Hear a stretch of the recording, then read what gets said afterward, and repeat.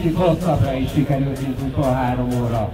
Gratulálok mindenkinek, mind a 27 csapatnak, a 230 nevezőnek, aki kitartóan kerékpározott. 23 óra, 23 percen keresztül. Tartózunk egymást! Én nyári kerékpártúrám az Észak-Afrikába, Marokkóból volt. Szentes, Marrakesről szenteség 50 napot értem haza, 2030 km pedáloztam, a szentesi tisztésig mentőszolgálat alapítványáért. És egy világos, világos jó Azt szeretném most a mentősöknek elküldeni.